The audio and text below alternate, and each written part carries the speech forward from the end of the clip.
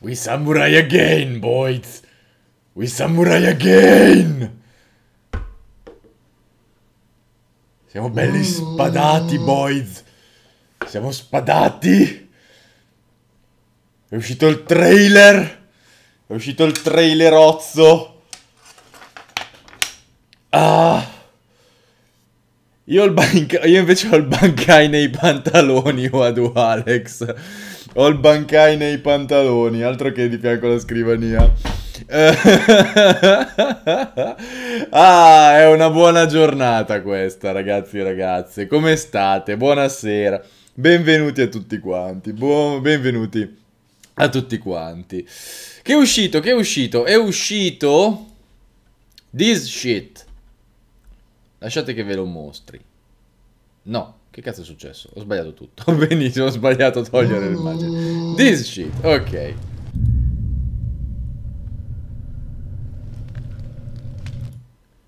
Neo 2 PlayStation 4 Closed Alpha Gameplay.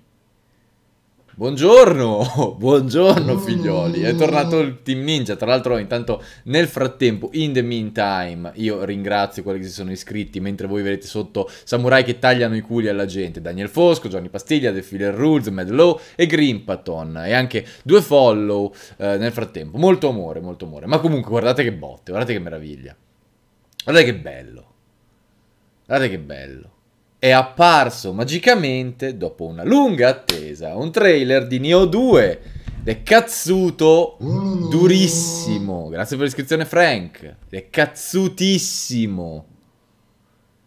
Guardate che meraviglia, guardate quante botte. Non solo personaggio femminile Matsuya, a quanto pare c'è il character creator. E grazie per l'iscrizione Dima Bros. Non solo, c'è la trasformazione in demone. Guardatela. Guardate che ci si trasforma in demone. Non più quindi solo un'evocazione con l'effetto legato all'evocazione spirituale, ma vere e proprie trasformazioni e evocazioni. Quindi potete evocare i demoni. Guardate che roba. Guardate quante botte infinite. E c'è l'alfa demo dal 24 al 2, solo su PlayStation 4, che è in realtà difficile al momento da definire, per un semplice fatto. Eh, pare che sia a selezione, cioè pare che siano gli sviluppatori stessi a selezionare chi partecipa a questa demo e eh, cioè questa alfa e io voglio assolutamente vederlo. No, i Kodama non ti, amma- non ti ammazzano, in realtà è un'altra, è un'altra roba. Comunque, Tante robe fighe. Allora, sì, esatto, c'è sempre la possibilità che sia rompibile. Grazie per l'iscrizione Tetramir. Perché d'altronde non è mai stato un gioco particolarmente bilanciato, Nio. Però, cioè, guardate questo trailer. Facciamo una piccola analisi di questo trailer, già che ci siamo. Perché c'è veramente tanta roba in questo trailer a livello di gameplay. Sono pochissime immagini, ma bastano e avanzano a rendere le cose molto fighe. Allora, innanzitutto, già questo lancio. Quindi, arma lanciabile ascia in alto e doppie asce. Quindi arma nuova, perché le doppie asce non c'erano in Nioh. Magari una variante delle doppie spade, però potrebbe essere già un'arma differente. E in più lanci l'ascia. Ora io vorrei capire se il lancio dell'ascia è correlato al fatto che tu hai le due accette? Credo di sì, perché fondamentalmente io non credo che sia un oggetto. Vedete che lui ha le due asce in mano? Una la lancia e la usa come proiettile, poi fa partire la combo, il che vuol dire che quella non è una manovra legata a degli oggetti lanciabili, ma è una manovra legata al tipo di arma, il che sta a significare che lui ha un'abilità, quando usa le due asce, per lanciare una delle asce e quando colpisce si avvicina e sono combo e sono botte, questa è un'esecuzione in allegria. Queste invece sono le, eh, no, sempre le doppie asce e le, vedete che l'ha saltato in aria e l'ha pure lanciata in aria, quindi nuova arma con delle abilità da lancio e mi stuzzica molto, infatti probabilmente le userò le due asce. Sempre yokai, questo tra l'altro incazzatissimo con un martello, un no yokai con le doppie arme, o forse questo è, no sì è sempre, no quello è un samurai, quindi probabilmente tornano anche le evocazioni con gli equipaggiamenti da, da samurai. Questo invece è un altro yokai, questo però con la spada un po' più normale, queste due cose che che ti seguono eh, ballonzolando non ho idea di che cazzo siano, vi dico la verità. Cioè queste specie di gatto blob che, che ti saltano dietro e che non lo so cosa sono, veramente non ne ho idea. E questo invece è uno yokai boss o mini boss con l'aura yokai, che era una cosa che c'era anche in Nioh, ma credo che sia un boss vero e proprio questo, perché mi sembra un po' troppo tamarro. Questo qua invece è un attacco ad area che viene indicato, credo che sia una sorta di eh, pietrificazione, perché comunque era un basilisco. E questo qua invece sono altri demoni che fanno un culo così a tutti i personaggi. Ora, tutti i personaggi, vedete che tra i personaggi ci sono una sorta di... Ehm, di, di, di, monaca, uh, dei samurai maschi e femmine, c'è la creazione del personaggio in Neo 2, tra le altre cose.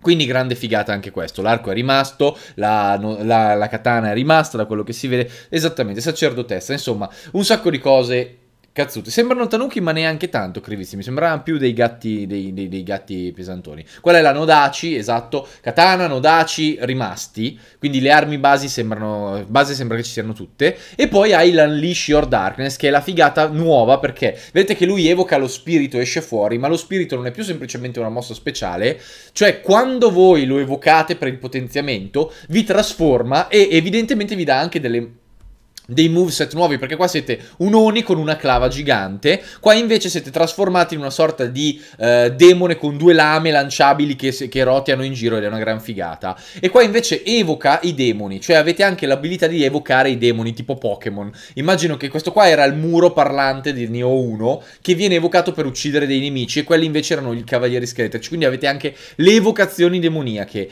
Ragazzi è un fottio di roba nuova a livello meccanico ma proprio un fottio. E questo Kodama qua che mi ammazza funziona come funzionavano i muri. Cioè, voi dovevate fargli il gesto, se facevate il gesto giusto al muro, il muro si apriva e vi faceva vedere il tesoro. Qua, questo Kodama, questa variante di Kodama col teschio, probabilmente ha un funzionamento simile. Cioè, se fate il gesto giusto vi dà una ricompensa, se fate il gesto sbagliato vi fulmina e vi ammazza.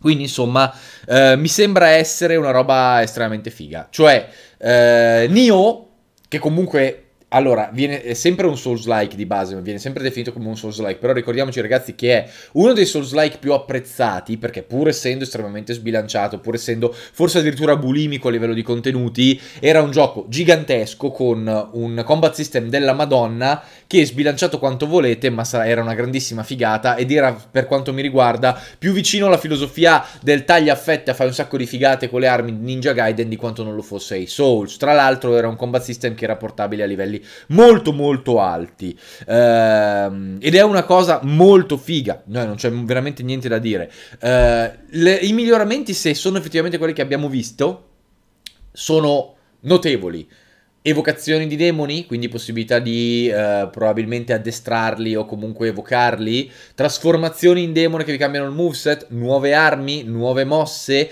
eh, creazione del personaggio, eh, classi, quindi con anche eh, elementi magici e cose varie, potrebbe essere una varietà straordinaria all'interno di un combat system che aveva già una varietà straordinaria perché ragazzi Nioh con i DLC aveva un numero di armi, manovre, possibilità spaventoso quindi è fighissima sta cosa, è molto molto figa e mi sembra anche bello il fatto che abbiano abbracciato completamente l'azione, cioè il primo Nioh era un Souls-like all'inizio con un ritmo da Souls-like, poi è stato modificato gradualmente finché non è arrivato alla sua forma finale, che era alla fine quella di un Souls-like con mappe un po' di merda, tantissimi contenuti, boss fight fighe, un sacco di nemici eh, e delle mosse cazzutissime, un sacco di stili, un sacco di possibilità e un combat system pu quasi puramente action.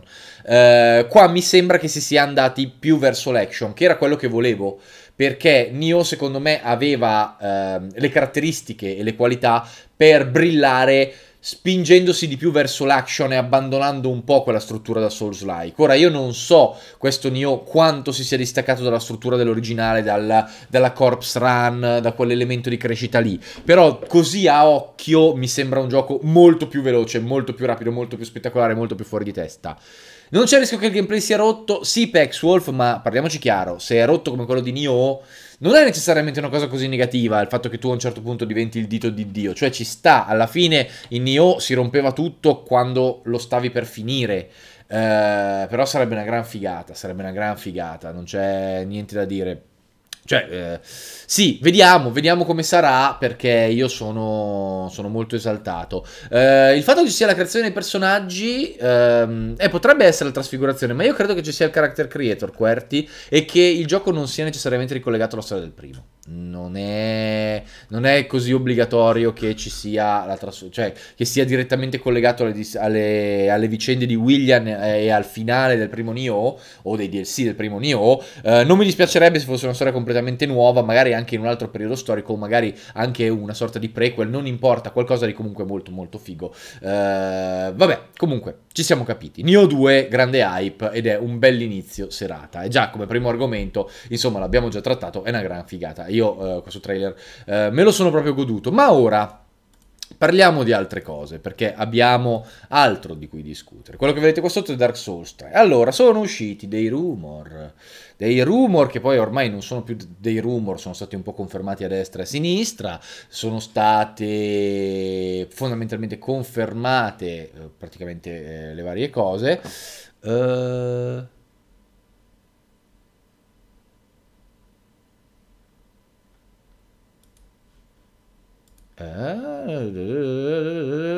Airu è molto, è molto lunga, eh, ne, ne, parliamo dopo. Intanto, intanto, parliamo della roba di, di From, poi ti rispondo, perché tra l'altro si è, si, è, si è, tagliata la tua domanda perché era troppo lunga, Airu-chan. Dopo gli do un'occhiata e ne, ne parliamo. Eh, comunque, ti dicevo, eh, do, dopo rifammela che la, la leggo. Eh, dicevo, tu non ne sapevi niente? No, io non ne sapevo niente. Allora, io non eh, vi darò conferme dalla mia persona, c'è chi l'ha già fatto, quindi facciamo finta che il gioco sia confermato e che effettivamente ormai sia sicuro al 100% facciamo finta che sia sicuro al 100% che il nuovo gioco di From Software abbia un'ambientazione nordica. Una cosa che vi avevo già detto e non avevate notato, ma eh, comunque, eh, eh, diciamo ambientazione nordica, esattamente, quindi vichinghi, grazie per l'iscrizione questo 89.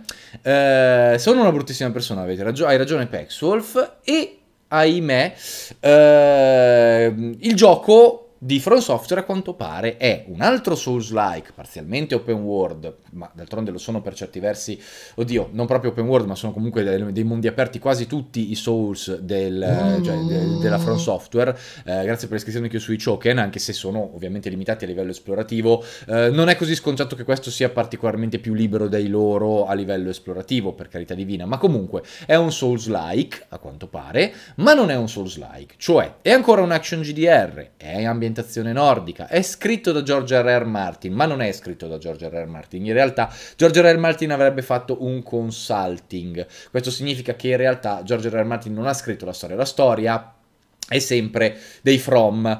Uh, non è chiarissimo quanto sia di Miyazaki, perché il director non è Miyazaki, il director è quello di Dark Souls 2. E ora, prima che uh, abbiate del terrore, ricordatevi che Dark Souls 2 rimane comunque un gioco bello, ragazzi, indipendentemente da come venga inserito all'interno dei Dark Souls, e che come co-director a Miyazaki, che quindi sta lì e gli dà un'occhiata.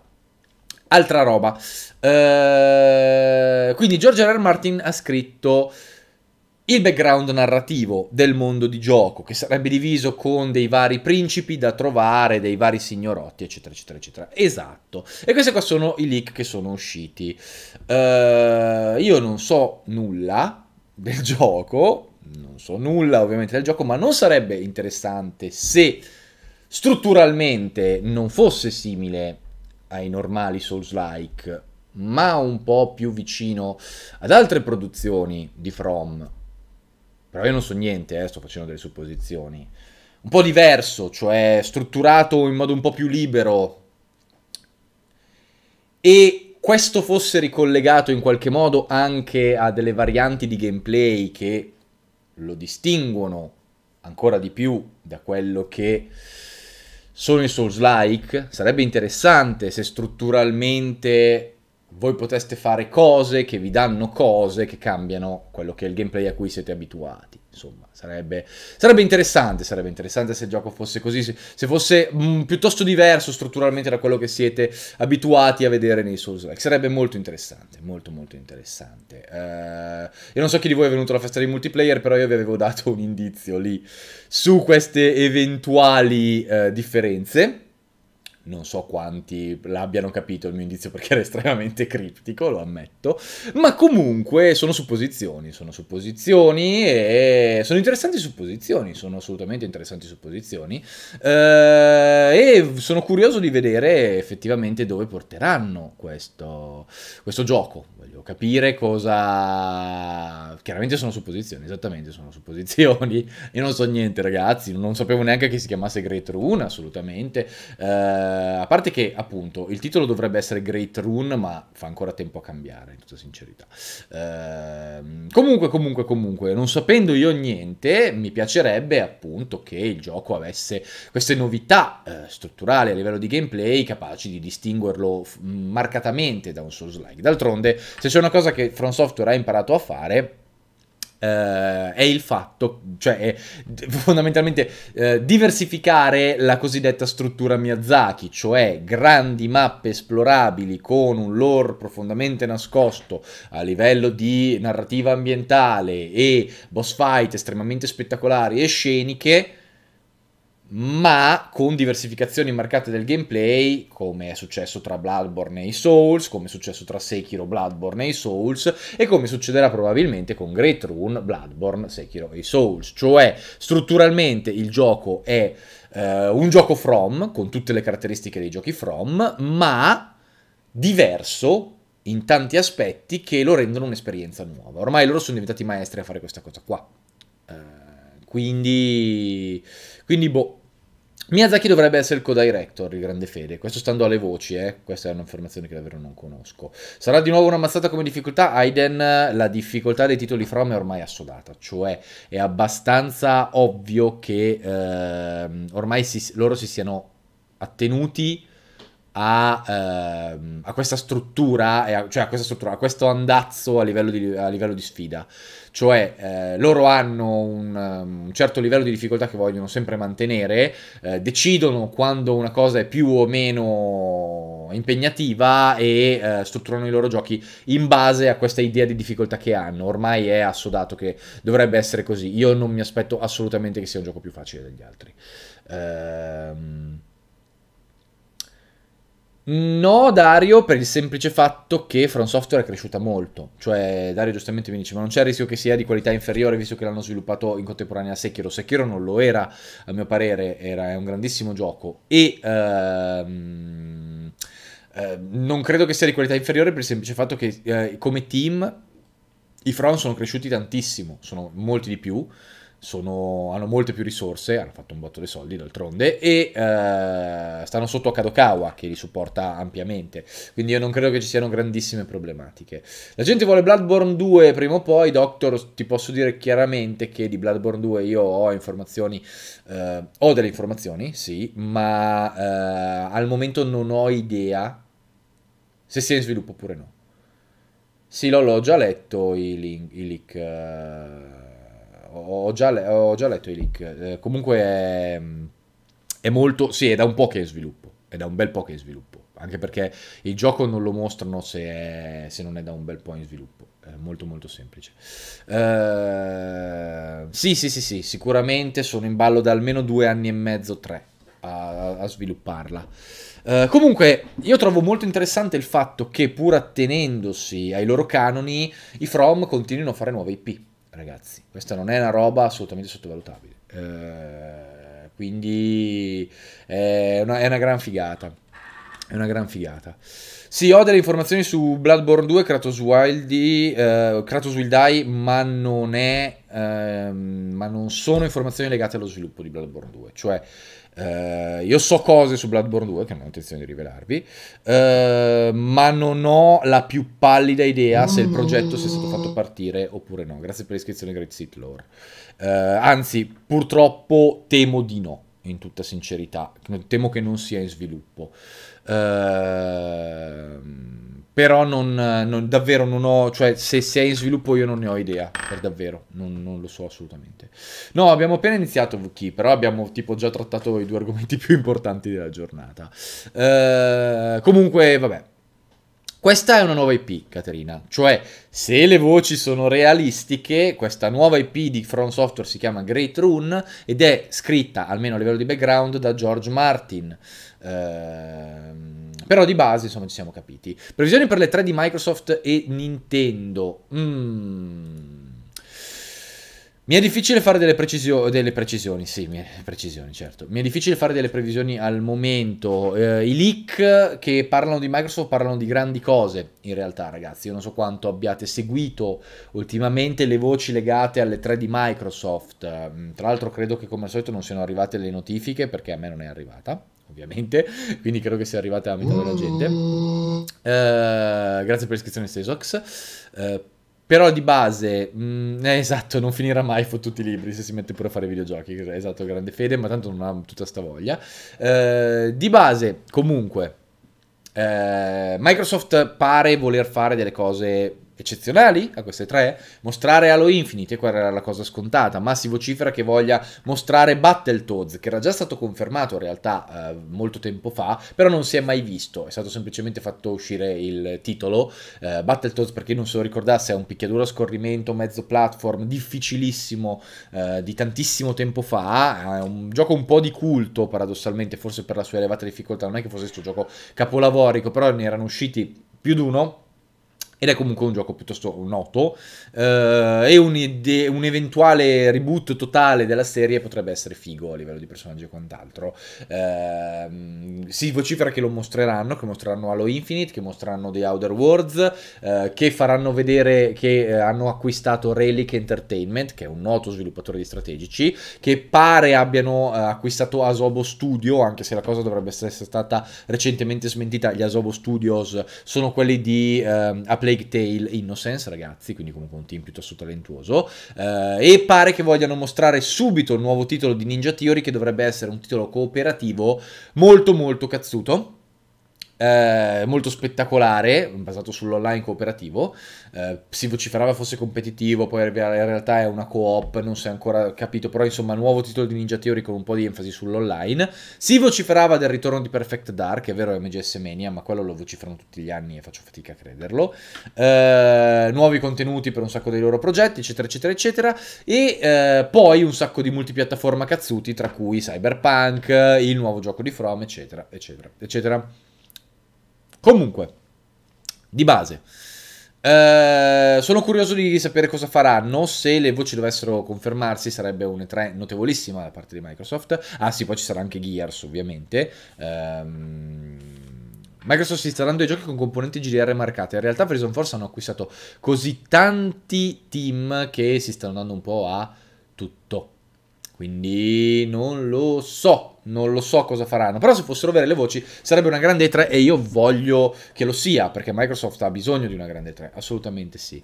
Um, ehm, MGS Mania, una partnership con Focus non significa che non possano essere acquistati Comunque, ma ci, siamo, ma ci siamo capiti. Comunque, Aeru-chan mi faceva una domanda. Buonasera, Ligi, mi domandavo se conoscessi Claudio Cugliandro e l'ormai fallita redazione di dplay.it.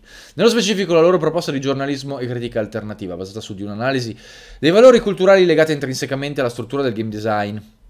Dalle varie analisi, soprattutto dei titoli AAA, si evince un netto distacco dalla critica tradizionale e ai criteri valutativi. Personalmente ritieni che una proposta simile possa contribuire ad arricchire il medium ES manca la seconda parte. Allora, eh, non leggevo di play, lo leggiucchiavo più che altro, quindi non posso dare una valutazione sicuramente sul, sull'operato del sito. Eh, mi sembra di aver capito più o meno cosa tu eh, intenda a livello di mh, mm, valori differenti a livello di critica e di tipo di giornalismo e critica differente da quello normale. Uh, credo che Replay tendesse più che altro a un'analisi di, alt- eh, di, altro tipo del medium, a vederlo un po' più come, mh, mm, insomma, allora, un po' più eh, nell'accezione di arte e con un'analisi più complessa, anche magari un pochettino filosofica, che io in tutta sincerità approvo, ma secondo me non può mai essere troppo, uh, insomma, cioè l'analisi non può essere solo quello, secondo me deve essere una via di mezzo, nel senso che io sono del... Um, sono d'accordissimo con il fatto che si possano trattare tematiche differenti all'interno di una recensione e che si possano fare delle valutazioni significative su cose che esulano dal semplice gameplay, dal semplice comparto tecnico eh, e da altre forme di critica tradizionale a tutti gli effetti. Eh, e, con, e, sono dell'idea che eh, articoli così strutturati possano senza ombra di dubbio arricchire eh, diciamo, il settore. Detto ciò, eh, non si può fare solo quello, i videogiochi sono anche tutt'altro, uh, recent- ah, e soprattutto la concezione che si ha dello stesso, ah, del medium, ok. Recentemente in merito alla controversa recensione di Days Gone firmata da GameStop, si è pronunciato a favore della libertà della giornalista di valutare l'esperienza offerta al titolo in base alla sua opinione politica. Ecco, esattamente. Um, io sono d'accordo nel dire, grazie per l'iscrizione Tagor, che appunto ci possono essere delle analisi interessanti e approfondite di questo genere di tematiche all'interno di una valutazione a Pato, sì, GameSpot, Aeruchan. Sì, la, la, la, recensione di, di Days Gone della Cagli Plug. Uh, il problema è quando si eccede. Cioè, problema di Dplay e di molti siti che hanno quell'andazzo lì è che tendono ad abbracciare un pochettino troppo le, le tematiche care ai social justice warrior nel modo in cui lo fanno i social justice warrior. Io non ritengo che una politica all'agenda debba influenzare una valutazione finale. Io ritengo che se ne possa discutere, io ritengo che si possa uh, informare sul, su quello che sono le tematiche importanti nel gioco, su quello che è la gestione della narrativa nel gioco, su quello che è la filosofia intrinseca del gioco e anche il trattamento dei suoi personaggi, anche, anche il trattamento dei personaggi femminili, è tutto sacrosanto, ma io non ritengo, salvo che la trama ovviamente non sia una merda proprio per queste, per queste generalità, eh, che si possa fare una recensione superficiale collegata e correlata eh, cioè superficiale sugli altri aspetti per concentrarsi esclusivamente su questo genere di aspetti e per appunto questa forma di analisi dell'ideale politico della review. Eh, questa cosa qua io la aborro nel modo più assoluto, cioè trovo che sia una mostruosità a livello di critica va approcciata in altro modo. Come ho detto più e più volte, non sono assolutamente in disaccordo col trattamento di questi temi con discussioni speciali su tematiche simili. Sono tematiche importanti, sono tematiche eh, problematiche, soprattutto nel mondo dei videogiochi, sono tematiche su cui questo medium deve crescere tantissimo ed è sacrosanto trattarle. In un certo modo, con un po' di moderazione. Se si va troppo verso quella strada lì, si perde il senso della critica. Si va, inizia a sfruttare il medium, perdi fotogrammi? No, Guido Axel, sto andando serenissimo. Si perde il senso della critica, si inizia a sfruttare il medium, come ho detto, per portare avanti la propria politica all'agenda, che è un po' quello che fa la Sarkisian, che è un personaggio che ho detto più e più volte, a me personalmente disgusta. Disgusta. Ehm sono dell'idea che appunto ci voglia moderazione, l'ho detto più e più volte, non è la tematica errata in sé, anzi le tematiche sono sacrosante e sono per lo più nel giusto. Il problema come sempre è l'eccesso, il problema come sempre è il fanatismo, il problema è come sempre eh, portare al limite questo genere di azioni.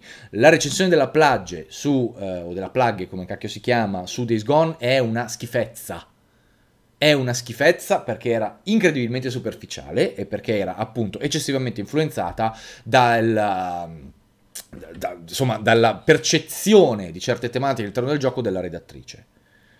Eh, secondo me questa cosa qua è inconcepibile perché lì non sei un critico, non sei un professionista. Sei uno che a questo punto deve discutere nei salotti uh, urlando tipo sgarbi o sei uno da blog.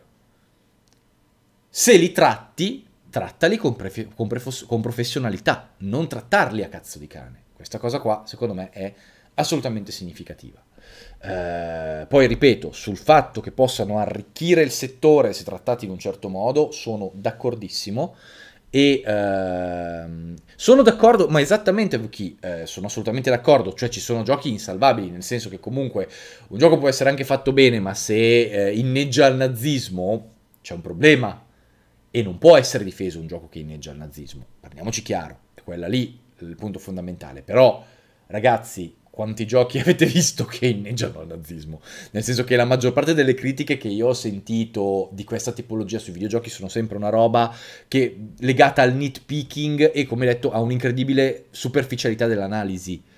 Eh, a collegamenti forzati legati di norma ad antipatie agli sviluppatori e alle loro dichiarazioni pregresse non tanto al gioco, con poi un odio diffuso per quella che dovrebbe essere, per quella che viene percepita come la categoria dei videogiocatori, come se fossimo tutti dei destrorsi, figli di puttana, uh, sessisti bastardi. Ma vi sembra possibile da giornalista videoludico che deve comunicare con i videogiocatori fare degli articoli o fare delle analisi in cui i videogiocatori vengono dipinti come delle teste di cazzo, destrorse, naziste, razziste, uh, sessiste. Oh, oh, ma, ma vi sembra il caso? Poi è ovvio che il videogiocatore medio ti manda a fare in culo. Ha tutte le ragioni per farlo. Cioè io non posso per dire godermi Kingdom Come Deliverance senza che uno mica che, sia, che sono un razzista, ma di che cazzo stiamo parlando? Cioè è, è, quello il tipo di eccesso che mi disgusta, che è una cosa che purtroppo si è vista fare moltissimo negli Stati Uniti da, da siti come Waypoint, da alcuni degli autori di Kotaku, da siti come Polygon prima che insomma cambiassero un pochettino i vertici, eccetera, eccetera, eccetera, eccetera. Uh, quindi molto, molto, molto, molto male. Vabbè, Agony era una puttanata di gioco in generale, uh, Deepman, ma non c'entra una mazza quello. Uh, comunque, vabbè, se siamo capiti. Uh, l'ho già detto, sacrosante, è quello che dico sempre, sacrosante quelle tematiche, sacrosanto trattarle in speciali recensioni, sacrosanto sottolinearne, sottolineare uh, dei dubbi legittimi su determinate posizioni di autori e di det- e determinate tematiche delle storie. Da lì a influenza la mia valutazione, ci vuole dietro un ragionamento abbastanza complesso, abbastanza dettagliato, che richiede comunque conoscenze pregresse notevoli e che richiede comunque competenze di un certo livello. La superficialità è il male, l'eccesso è il male, eh, il fanatismo è il male. Di base è sempre così. Non ho visto il post di Salvini con Krillin, non lo voglio vedere Dro 95, c'è questa eh, propaganda politica che sta usando moltissimo anche la Meloni, eh, che stanno seguendo secondo me eh, appunto quella branca effettivamente destrorsa del, dei nerd americani pensando di ritrovarla anche in Italia, eh, perché effettivamente c'è una branca di, ehm, insomma, di persone politicizzate di destra negli Stati Uniti d'America che sono pro-Trump, eh, antidemocrati, eh, antidemocrat, eh, non antidemocrazia, antidemocrat partito americano eh, e molto insomma attuned con la tecnologia a cui hanno puntato molto con la propaganda anche online negli States. Adesso molta, molto della strategia politica di molti dei insomma degli spin doctors fondamentalmente eh, di Lega, Fratelli d'Italia e quant'altro è puntare su queste cose, puntare sui meme e puntare su queste stronzate che ricollegano i politici alla,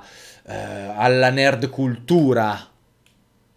Quando vedete queste cose, per favore, cambiate pagina, sputate per terra, Uh, mollate un rutto, fate qualcosa, è molto, è molto molto disgustoso, è davvero molto imbarazzante, cioè sono proprio tentativi alla cazzo di cane di uh, simpatizzare con uh, la generazione dei millennial con questo genere di cagate che poi non appartengono minimamente a questi individui, è semplicemente propaganda politica, ragazzi. E fa becera propaganda politica e, e, e, come tutta la propaganda politica, insomma, va, va, va, va buttata nel cesso.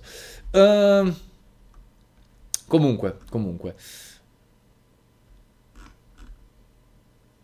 Eh, io ho Huawei, che faccio bestemmio uploaded. Uh, ragazzi, la situazione Huawei Google è abbastanza paradossale. Allora, sapete benissimo cosa sta succedendo negli Stati Uniti d'America, cioè gli States stanno facendo la guerra alla Cina la guerra commerciale alla Cina. È una cosa anche piuttosto comprensibile, nel senso, gli Stati Uniti sono una superpotenza import-export che fa, che soprattutto a livello di tecnologia è potentissima. La Cina è il loro principale rivale, anzi in realtà la Cina ha in mano buona parte del debito statunitense, quindi altro che rivale, se li è già mangiati vivi un bel po' di volte. Eh, gran parte della campagna politica di Trump e della destra americana eh, risiede nel voler dimostrare di star sopra i cinesi, nel voler dimostrare di essere un'economia più potente, più pesante, più importante rispetto a quella cinese. Quello che è successo è che quindi gli americani hanno iniziato a piazzare dazi qua, dazi là, dazi su, dazi giù e a fare accuse che non sono necessariamente infondate, anche se eh, probabilmente sono molto pompate, legate al fatto che attraverso Huawei eh, la Cina ruba dati fondamentalmente agli utenti statunitensi e globali e li riutilizza per la Cina, appunto, eh, come sorta di spionaggio industriale. Una cosa che è tranquillamente possibile, anche perché lo fa Facebook, come diretta conseguenza non vedo perché non lo facciano i cinesi, che sono comunque quel genere di governo lì, con quel genere di intenzioni lì, con quel genere di tendenze lì. Ora, però l'hanno fatto anche gli americani, esattamente la Depso. Non è una cosa che, di, che, gli americani sono innocentini, perché non so se vi ricordate, insomma, non lo so, cioè Snowden, l'NSA, cioè tutte quelle robe lì, no? Cioè come se loro fossero degli angioletti del cazzo, esattamente. Ehm, stando alla... fondamentalmente Trump ha cercato di far passare, se non erro, proprio delle delle leggi legate a, eh, per boicottare buona parte di quella che è l'economia cinese eh, legata all'import-export americano e c'è di mezzo Huawei che appunto viene accusata di questo spionaggio. Eh, Google si è adeguata dicendo noi non vi supportiamo più a livello di Android, quindi il vostro fantastico sistema operativo, puff, cazzi vostri. Eh, cosa succede però? Loro, cioè come americani, hanno il diritto di fare delle leggi per boicottare Huawei. C'è un piccolo problema. Eh, gli cinesi hanno in mano i minerali. L'80% delle miniere legate a materiali come il silicio, come insomma i materiali che vengono utilizzati nella costruzione di computer, smartphone, tutta quella roba lì è veramente per l'80% in mano ai cinesi, persino in Africa, perché in Africa ci sono molte di quelle miniere lì, e indovinate chi è andato a recuperare quelle miniere di terre rare lì in Africa? I cinesi, che non sono scemi. E quindi, gnam, hanno costruito gigantesche ferrovie, hanno preso il controllo di intere regioni e ora hanno in mano l'80% delle terre rare, delle rare heart mondiali. Ora, Trump può fare quello col cazzo grosso e dire vi boicottiamo Huawei e la notizia va in tutti i telegiornali. Ma se i cinesi decidono di chiudere il rubinetto delle terre rare, sono cazzi, sono cazzi, non per Huawei, sono cazzi per Apple, sono cazzi per Microsoft, sono cazzi per tutte le startup tecnologiche della Silicon Valley, che per la cronaca si chiama Silicon Valley, senza Silicon, no no, non funziona. Quindi io ho come l'impressione che, considerando che i cinesi tendono ad offendersi molto facilmente quando si agisce direttamente contro di loro, eh... credo che gli americani dovranno ridimensionare i piani molto velocemente. Eh, molto molto velocemente. Eh, sì, sì, sì, sì, sì, sì, sì. Sì, sì, sì, è vero, il silicio non è una terra rara. Eh, però vabbè, insomma, ci siamo capiti. Cioè, era, era, più che altro per la questione della battuta, ragazzi. Mi faceva più ridere, faceva più ridere la cosa. Ma di base, eh, ma di base, semplicemente, sono molto molto cazzi acidi se a livello di, eh, di terre rare i cinesi gli chiudono i rubinetti.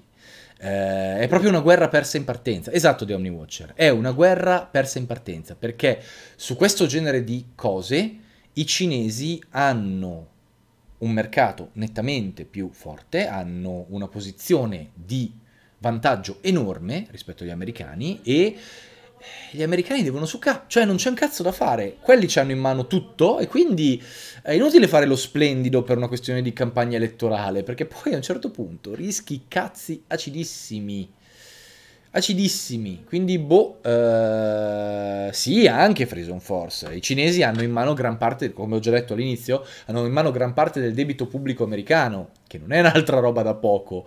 Però di base, mh, quello non rientra al momento nei movimenti commerciali, in questo genere di dazi e cazzate varie. Insomma, diciamo che questa cosa di Huawei è un problema per Huawei sicuramente, che dice di essersi adeguata, di aver preparato un suo sistema operativo, di aver capito, di aver già preparato, grazie per il follow, eh, piani per eh, risolvere qualunque problematica di questo, questa tipologia, per carità, ma ho come l'impressione che verrà tutto estremamente ridimensionato molto a breve, perché se non dovesse accadere, preparatevi a vedere un discreto crollo in borsa di buona parte delle aziende tecnologiche americane, legato al fatto che i cinesi la buttano al culo. Detta terra terra. Uh, Black Cat mi dice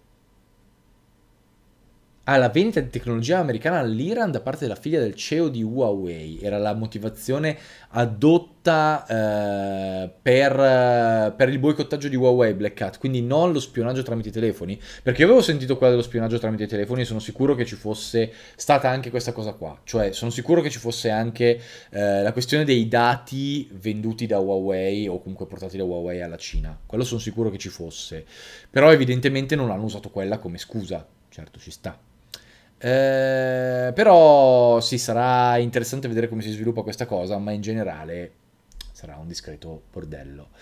Sarà un discreto bordello. Uh, non lo so, non lo so cosa, cosa, succederà in tutta sincerità. Credo che qualunque sviluppo sarà profondamente negativo uh, in generale. Sì, ho già parlato di Neo 2, sono molto esaltato John Kramer. Però vabbè, insomma, ci siamo, ci siamo capiti. Sì, esattamente, Black Cat. Credo che sia un'altra scusante utilizzata per, per quella mossa lì, insomma. Uh, sì, ma Mauro Luz, tra l'altro, da quello che ho capito, anche il, il, quello che gest- dava i chip a Huawei si è tirato fuori. Quindi, insomma, è un po' un bordello. Uh, non lo so, non lo so. Cioè, è, è quello il punto. Eh, gli Stati Uniti stanno cercando di creare una crisi economica in Cina andando a colpire le multinazionali cinesi, senza rendersi conto che la Cina ha molte più possibilità di creare una crisi economica negli Stati Uniti con molta più facilità. Eh, questa cosa qua. Microfono gracchia? Mi sembra strano. No, il microfono è giusto. Uh, ogni tanto la chat va a cazzi suoi e interagisce con delle minchiate enormi? In che senso? Under l'elite. Non capisco. Buona cena, Beastard. Non ho mai giocato a Lifeline per SEOK. No, mi manca. Uh, Noi che abbiamo giocato a Fallout sappiamo come comportarci in caso di guerra nucleare. Uh, la, vedo, la vedo difficile la guerra nucleare, però insomma, vabbè. Uh, vabbè, Epic ha un mercato enorme in Cina da Fighter, ma in Asia in generale, grazie per di Omniwatch. Guardate ragazzi che la stragrande maggioranza dei giochi online più grossi del mondo dipendono in larghissima parte dal mercato asiatico. Gli esports, pensate agli esports, League of Legends, Fortnite, gli sparatutto. Sapete da quanto, cioè, sapete quanto del guadagno degli esports globali deriva dal mercato asiatico? L'80%. L'80%. Se la Cina chiude i ponti,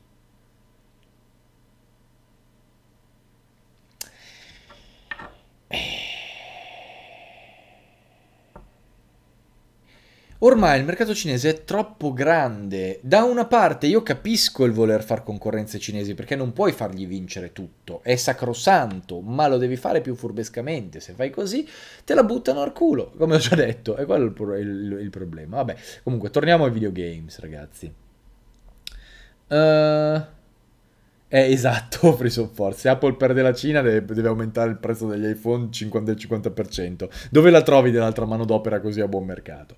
Uh, che ne pensi di Gran Blue Fantasy Versus che mi esalta moltissimo? Um, I and the Wit, anzi, facciamo tre. Gran Blue Fantasy Versus Gameplay. Facciamo vedere un trailerino di sotto così lo vedete anche voi. Uh, perché avevamo fatto questa partita Daigo contro, mm, contro Fudo di, di Gran Blue Fantasy. Molto divertente, che è veramente una bomba nucleare come, come gioco. Qua c'è Tyrant che lo commenta, però. Allora, Daigo vs Fudo. È il nuovo picchiaduro degli Arc System, per chi non sapesse di, di cosa si tratta, ragazzi. Eh, ed è un picchiaduro molto interessante. Io l'avevo già provato in realtà alle 3.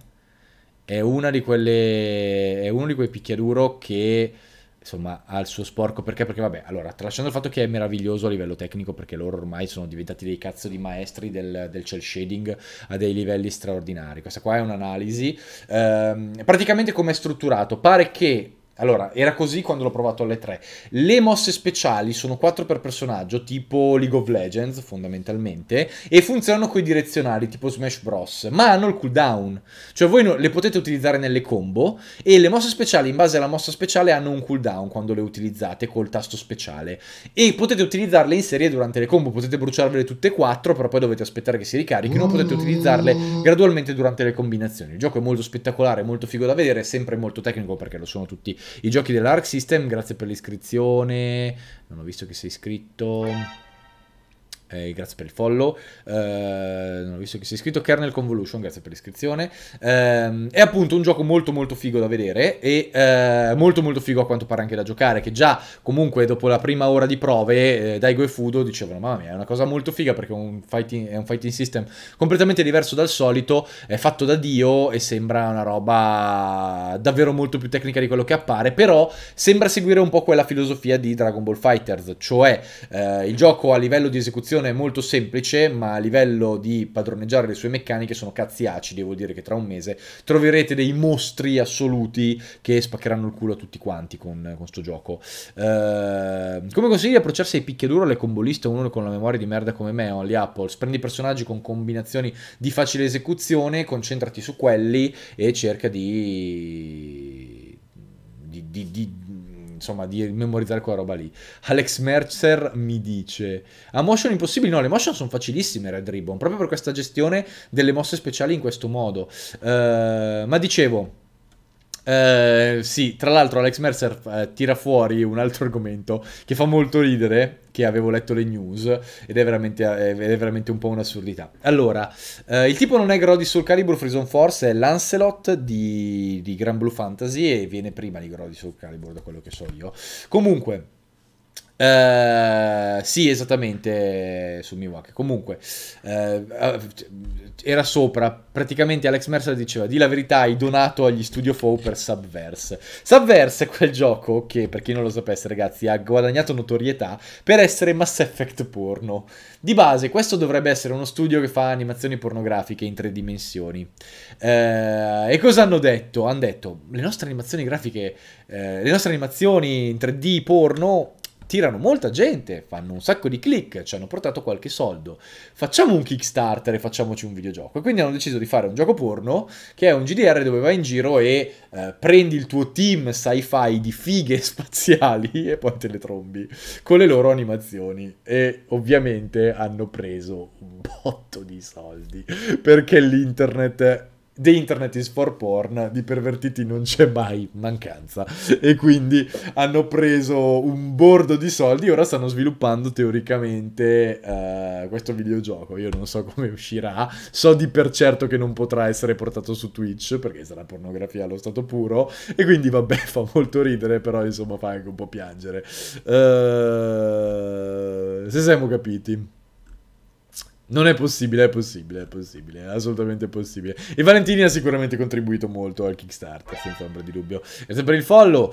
Uh, comunque sì, abbastanza tristo. Mm, domani Pianesani gioca a Sekiro. Commenti, signor Pregianza non credo che sia commentabile Draw95. Credo che si commenterà da solo quando lo vedrete. Ai ai ai ai ai. Dove si potrà vedere? Lo chiedo per un amico. Piandrea, fermati. Ai ai ai ai. Sto recuperando le opere di Taro, mi dice MGS Mania. Ho giocato Drakengard, mi dispiace. Nier Automata, sto giocando Nier Gestalt. Mi manca il terzo Drakengard. Tutti i Drakengard hanno delle pecche terrificanti e eh, a livello narrativo in realtà sono molto meno concreti e godibili di quanto non siano in Nier. Eh, questo non vuol dire che non siano affascinanti e che non abbiano degli elementi davvero molto interessanti a livello di storia, quindi se sei in grado di sopportarli senza morire di noia, io ti direi che insomma eh, di giocarli assolutamente. Uh, quest'anno sono alle 3 con un pass normale da gamer, mi scrive Petcotti. Consigli su come godermelo al meglio? Non puoi. Non puoi Petcotti, hai fatto una follia, perché l'E3 purtroppo è estremamente disorganizzata, le code sono mostruose. Se vuoi giocare qualcosa tantissimo, arriva là prestissimo, corri verso la zona dove c'è il gioco che ti interessa, fatti la coda, preparati perché se ti va di culo arrivi tra i primi, ti riesci a giocare una cosa in 10 minuti e poi devi aspettare ore alle altre code perché l'E3 non è pensata per le persone le3 non è gestita per le persone ed è un bordello perché tutti si concentrano ovviamente sui giochi particolarmente interessanti e c'è pure la stampa piccolina che non ha gli appuntamenti che si infila nelle code per fare quelle robe lì e quindi ci possono volere delle ore per giocare a qualcosa. Purtroppo le fiere da utente normale sono una merda, già di norma, figuratevi una fiera come le 3 che è disorganizzata di natura, eh, quindi è un, è un po' brutta vissuta così. Questo non significa però che tu non possa goderti delle cose. Il mio consiglio è di andare magari su titoli minori che hanno meno bordello, tipo indie e cose così, con eh, degli stand piccolini dove non c'è un cazzo di nessuno, e lì sicuramente te li godi di più. E di concentrarti su due grossi eh, giochi che vuoi giocare assolutamente, arrivare là presto e buttarti sulle code sperando che non corra troppa gente lì all'inizio della, dell'entrata. Cosa ne pensi della CG di One Punch Man? Miracolo? Chi? Non ho visto ancora l'ultima puntata. Miracolo no, perché la seconda stagione di One Punch Man a livello proprio di, di qualità è molto inferiore alla prima, ragazzi. Però eh, non ho ancora visto l'ultima puntata, però sicuramente hanno fatto un lavoro migliore di quanto mi aspettavo. Sarà secondo me Sekiro eh, o Sekiro a giocare Pianesani. Riuscirà a battere il primo boss Pianesani? No. Eh, secondo me neanche i primi contadini. Uh, uh, domani farà qualche miracolo. Ho visto delle notizie su Baldo, nuovo progetto del Naps Team, Danny Fighter, ma non ci sono stato dietro. Comunque, qualitativamente parlando, è peggio Kingdom Hearts 3 o Ninja Gaiden 3? Kingdom Hearts 3, QWERTY. Ninja Gaiden 3, almeno quando è uscita la versione Razor's Edge, era un action comunque passabile. Uh, Kingdom Hearts 3 per me è un gioco insufficiente. Uh, secondo te annunceranno Titanfall 3? Non lo so. Uprooted, non ne ho idea. Non so. Cioè, rispone al lavoro sul gioco di Guerre Stellari. Eh, lavoro su Apex. Io non so se stiano facendo anche un Titanfall. Arriva Sarri alla Juve, pregi di Peman. Mi fa molto ridere il calcio. Cioè, eh, io trovo sempre, vedendolo dall'esterno e completamente in modo disinteressato, il calcio mi fa sempre molto ridere, perché il calcio in Italia è religione, ragazzi. Il calcio in Italia è letteralmente culto religioso e eh, crea delle delle inimicizie terrificanti, crea dei gruppi proprio di smearing, del, proprio gente che si insulta in modo mortale, gente che pone, eh, degli, gente che fondamentalmente crea degli idoli pagani, eh, rendendo determinate persone il simbolo di una città, di una squadra. Eh, il fanatismo, esattamente, il fanatismo sportivo. Ehm, mi fa molto ridere l'idea di Sarri alla Juventus perché da quello che ho capito, grazie per il follow, Sarri è visto visto come una sorta di santo del Napoli e la Juve è tipo il, il diavolo per qualunque tifoso napoletano. Uh, e c'è questa convinzione che se una figura di spicco del calcio è stata in una squadra ed è stata osannata in una squadra, ed è stata trattata bene in una squadra, questa figura di spicco non passerà a un'altra squadra che gli dà più soldi. È una cazzata perché il calcio, soprattutto a quei livelli, è dindini. Quindi, se tu vuoi essere Murigno, che è stato il nemico della Juventus per dieci anni, ma se ti danno abbastanza soldi, ci vai alla Juve. Tu puoi essere Sarri, che era l'idolo del Napoli, il grande allenatore del Napoli, Juve merda, ma se ti danno abbastanza soldi, ci vai alla Juve.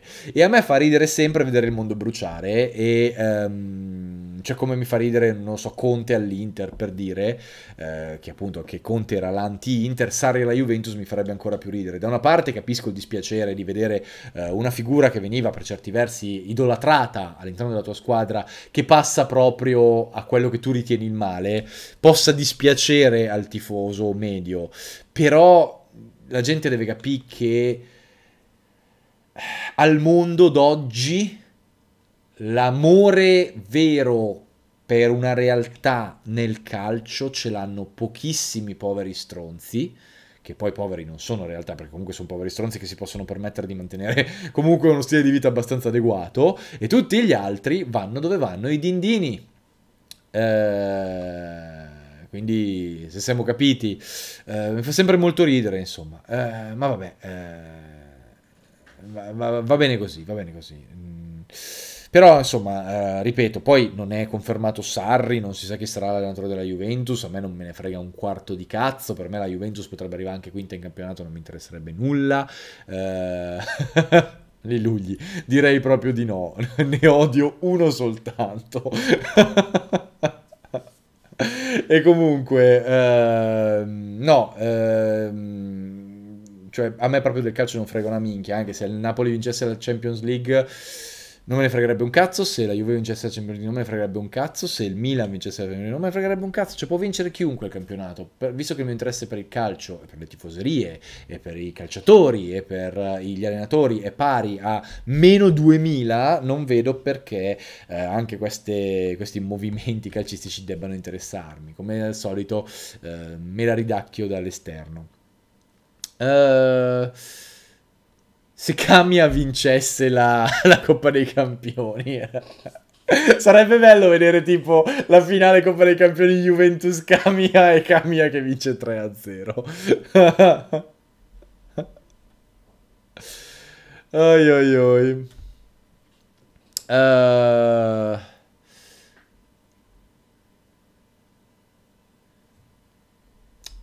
Per quale motivo Ubisoft ha, fare, ha, smesso di fare quei bei giochi in 2.5D con l'UbiArt, Baldsum? L'UbiArt è un engine bello da vedere ma molto limitato che è una cosa che si nota immediatamente da tutti i giochi che lo coinvolgono, è molto adatto a fare i platform e ben poco altro, perché purtroppo è un, è un, engine molto bello da vedere, come ho detto, ma che ha delle incredibili limitazioni a livello di sviluppo, non è che tu ci possa fare dei grandi numeri. Quindi è stato un po' abbandonato proprio a livello tecnico. Uh, in più, quei progetti servivano principalmente per l'immagine di Ubisoft, ma a livello monetario non è che rientrassero particolarmente nei costi o portassero grandi guadagni, e Ubi deve campare, è comunque un'azienda che punta su grosse vendite, quindi si è concentrata secondo me su altri progetti semplicemente, è una questione puramente strategica.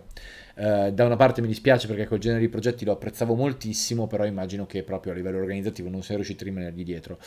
Uh... Oh sì sì, lo sa perfettamente Red Ribbon.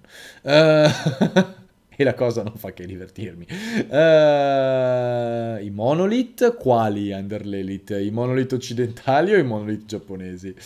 Uh, si vocifera che stanno facendo un nuovo JRPG open world? Non saprei. Era uscito un rumor su Child of Light 2, se è uscito non lo so, Balditum. Sarebbe bella una presentazione di Child of Light, di un eventuale Child of Light 2. Immagino lo scopriremo alle 3 perché anche Ubisoft ha comunque la conference, quindi lo vedremo. Uh... Si è parlato di Neo 2, fritto misto, e del trailer, si è fatta una piccola breve analisi del trailer e sembra molto molto figo. Ninja Theory, Pexwolf, eh, non so perché l'hai tirata in mezzo, ma ne parlavo quando si parlava della, della, della Microsoft alle 3.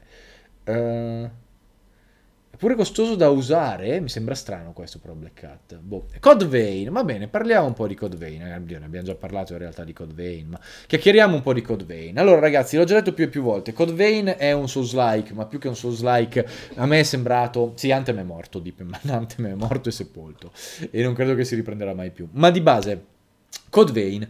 Code Vein è un progetto abbastanza interessante. Non vi aspettate un gioco di altissima qualità, ragazzi. Per quanto mi riguarda, da quello che ho provato, è un gioco così così.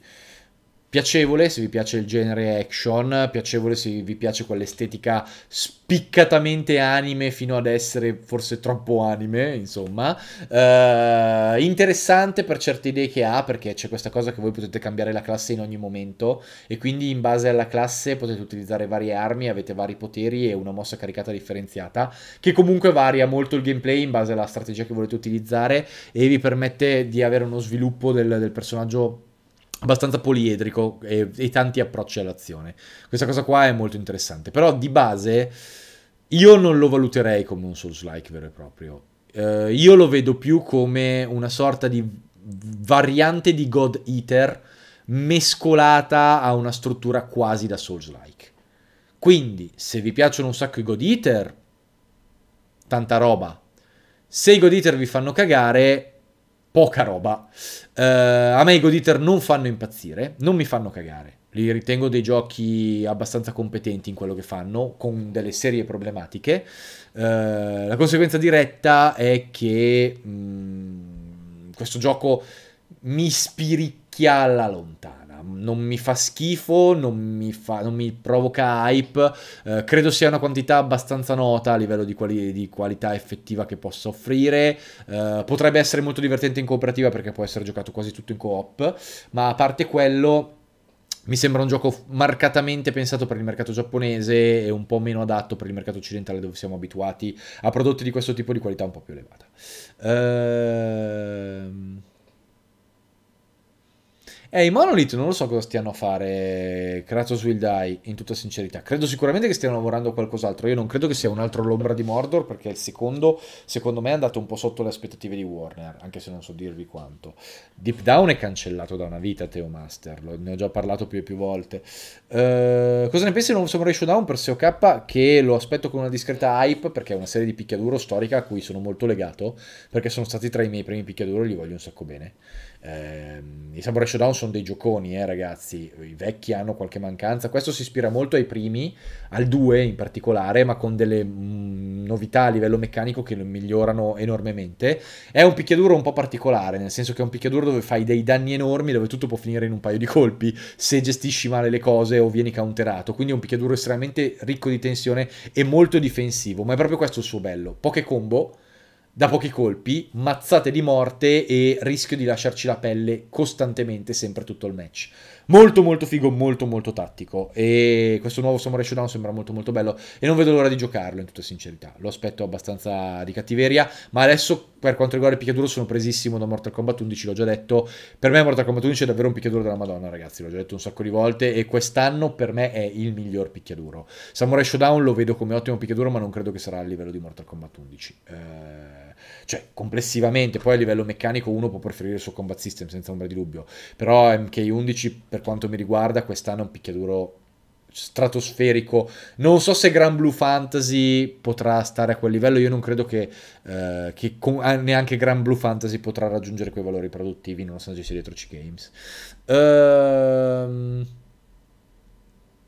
Oddio, tornando alla ribalta, no, è la Depso, perché non è che sono spariti, cioè è da tantissimo, è da tanti anni che escono dei picchiaduro della Madonna e ormai è pieno, cioè tra Dragon Ball Fighter, Tekken eh, 7, eh, Street Fighter 5 Arcade Edition eh, e tutto quanto, picchiaduro sono rinati già da un po', quindi non credo che ci sia tutto questo bisogno di far rinascere un genere che è già pienamente a posto. Non so quando esca Biomutant, in tutta sincerità, non credo che serva la PlayStation Plus per giocare online a Mortal Kombat 11, ma non ne sono sicuro purtroppo. Uh, Deep Down cancellato. Querti, Deep Down, come ho detto più e più volte, è un progetto che era legato al Pantarei. Era un motore grafico di uh, Capcom sperimentale che non ha funzionato. Si è rivelato troppo dispendioso, si è rivelato troppo poco flessibile, era basato principalmente sui particellari e sugli effetti di fuoco ed è andato completamente a puttane. L'hanno eliminato e poi dai suoi rimasugli è nato il Re-Engine, che invece è un engine con i controcazzi. Il progetto che era Deep Down inizialmente era un procedurale scrauso con degli elementi da action GDR fatto male, brutto da giocare, brutto da vedere, cioè era molto bello da vedere in trailer, era molto brutto da vedere in azione, eh, assolutamente mediocre in tutto, che è stato completamente eliminato. Se dovessero presentare un nuovo Deep Down, sarebbe una cosa completamente diversa dalla loro presentazione iniziale. Un gioco completamente differente, basato su un engine completamente diverso. Eh, tutto qui. Quindi non è impossibile che in futuro Capcom faccia uscire Deep Down. Ma non è quello che avete visto. un sarà un'altra roba. Uh, non so se ci sarà un picchiaduro su Persona 5 fatto da Arc System creato su uh, Will Die. Adesso come adesso uh, credo che Arc System sia già impegnata in un po' di robe. non sono un particolare fan del vecchio Dragon Ball Burst Limited 99, ma in generale dei vecchi picchiadori di Dragon Ball. Il documentario sullo sviluppo di God of War è molto molto piacevole, il grande fede, ma non l'ho visto tutto. Tra l'altro, come dicevo, appaio a un certo minuto del documentario perché c'è la presentazione in Italia con Fossetti dietro e io nella, co- nella coda davanti. Ehm... Non avevo letto che THQ Nordic avesse acquistato Piranha Bytes ed è sicuramente una cosa interessante. Scusa l'off topic, ma che ne pensi di Dr. Stone? Che uh, è un interessante concept per un manga. Boichi è un ottimo disegnatore, ma non è uno shonen che mi fa particolarmente impazzire. No, Battle Royale non lo ritengo probabile, ragazzi. Datemi un secondo. Uh, che arrivo.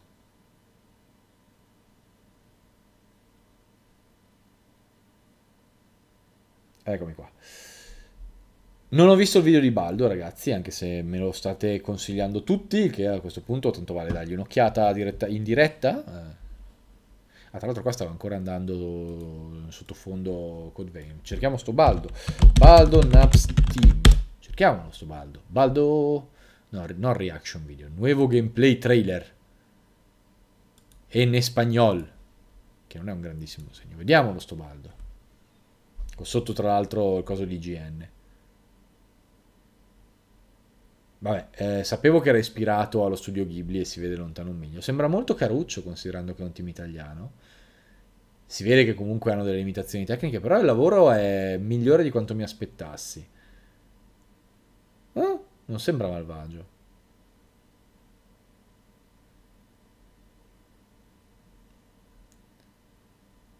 Quindi è uno Zelda-like con l'art style di Nino Kuni, fondamentalmente. E non sembra un brutto progetto. Interesting. Vediamo come viene fuori questo gioco. Potrebbe essere bellino.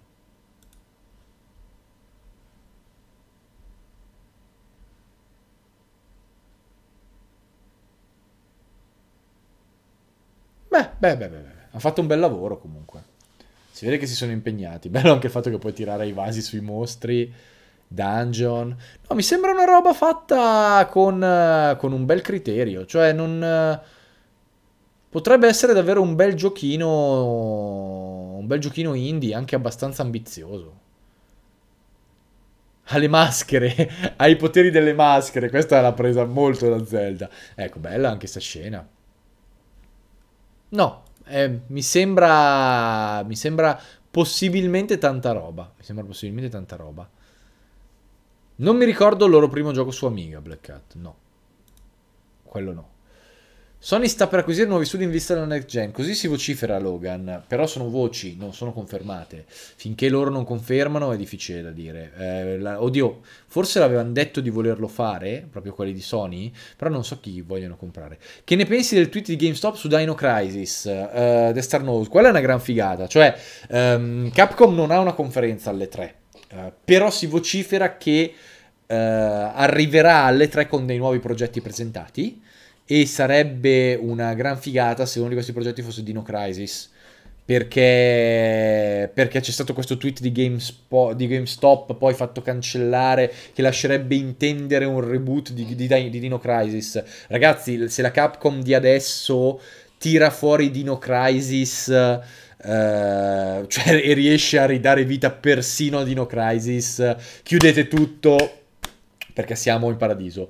Uh, grandissima figata, perché poi Dino Crisis è un titolo che a livello di reboot o re- remake in realtà è potenzialmente molto più interessante del Resident Evil. Non perché Resident Evil 2 non sia stato un gioco della Madonna, perché Resident Evil 2 Remake è un gioco del dio, uh, ma perché Dino Crisis può venire trasformato completamente a livello di gameplay per essere un'esperienza molto diversa, magari più marcatamente uh, action, e questa cosa qua sarebbe un sacco figa. Sarebbe veramente un sacco figa. Sono curioso di vedere cosa ci combinano. Mi piacerebbe anche un nuovo Onimusha, John Kramer, assolutamente sì. Assolutamente sì. Uh, vabbè, ma Capcom si è già, è già completamente redenta a Molten Green. Cioè, Capcom dopo Resident Evil 2 Remake, Devil May Cry 5 e Monster Hunter World Resident Evil 7 è già completamente redenta. Io, ade- io, adesso alle 3 non vedo l'ora di giocare Iceborne, perché lì mi ci ammazzo. Cioè, sarà quella roba dove io avrò probabilmente l'appuntamento con Capcom, andrò a giocare Iceborne, uh, si spera appunto, e se ho un'ora di giocato mi dovranno togliere tipo con le pinze, no? Che dovrà arrivare tre persone con io che sto lì a menare in Argaku che dico no, devo farmare e la gente che mi tira via probabilmente, però insomma ci siamo capiti. Non vedo l'ora veramente di, di, di giocarlo, se possibile. Uh, eh, ma la Switch è legata alla potenza della piattaforma, Dani Fighter. Capcom sta lavorando molto con degli engine che su Switch non reggono il colpo quindi visto e considerato che fa soldi anche altrove, semplicemente la piattaforma la snobba perché a livello di sviluppo ha dei problemi. Questo non significa che non, faccia, non faranno o non presenteranno dei progetti pensati per Switch in futuro, eh, però ora si stanno concentrando su, su altro e co- per come l'hanno fatto, tanta roba. Sei interessato al prossimo probabile Watch Dogs 3 o non te ne frega particolarmente una mazza? La 2, Aiden DeWitt. Grazie per il follow, Inept Gamer. L'ho già detto molte, molte volte. Uh, I giochi Ubisoft, specialmente gli open world recenti, sono titoli senza anima. Sono titoli che sono completamente delle quantità note, che rimescolano elementi visti, già visti e stravisti altrove e nei loro progetti.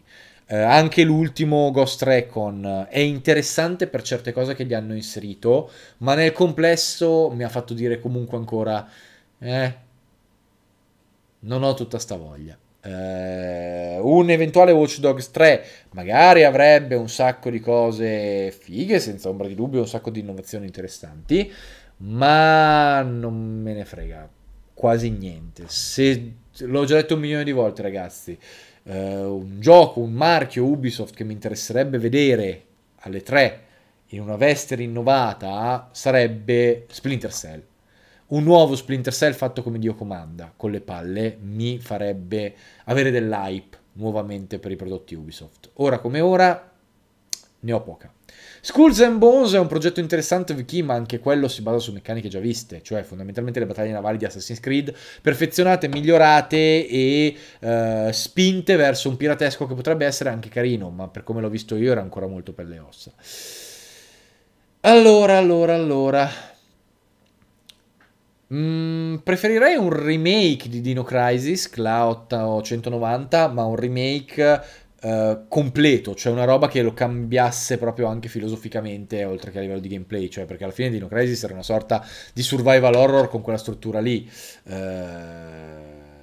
vorrei un'altra, vorrei, vorrei tutt'altra roba, cioè non vorrei un altro Resident Evil 2 remake ma con i dinosauri, insomma.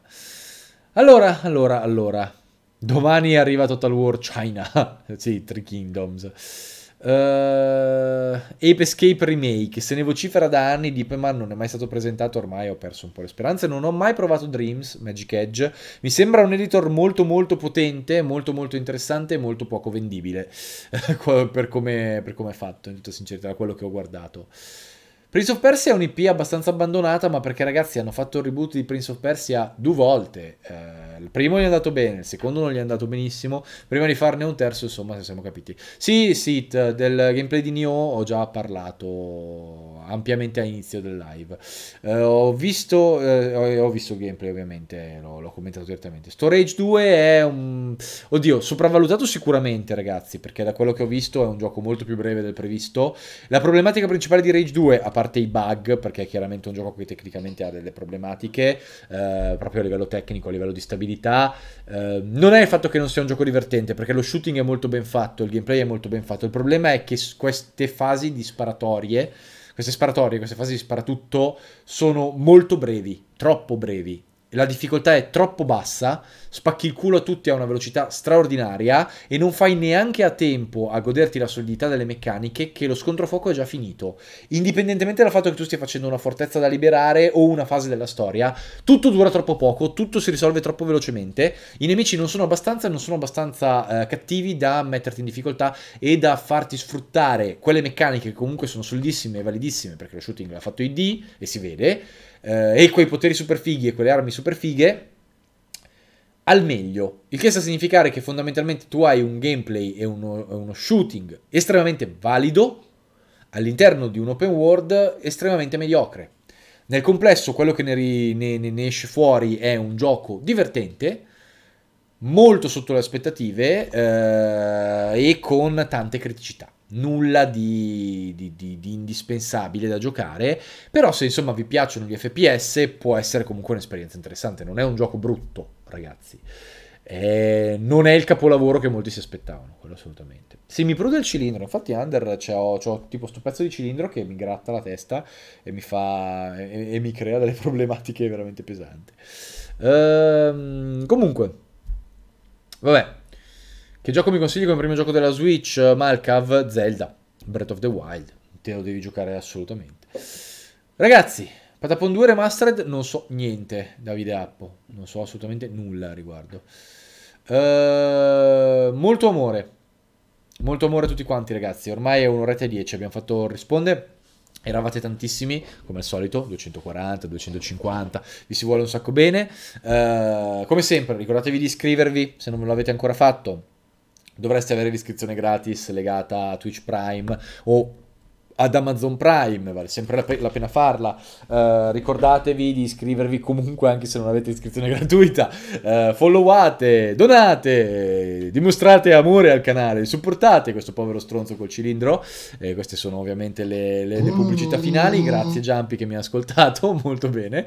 Molto amore a tutti quanti ragazzi, vi si vuole un sacco bene. Uh, tra l'altro restate connessi su multiplayer lunedì che arriva e nei prossimi giorni perché ho visto MotoGP non sono sotto embargo, MotoGP per chi ama quel genere di giochi è molto bello, Uh, mi è sembrato un gioco molto molto valido e molto interessante l'ultimo MotoGP. Uh, quindi un bel lavoro da parte di Milestone. E ho visto Bloodstained che sono embargato quindi non posso parlarne.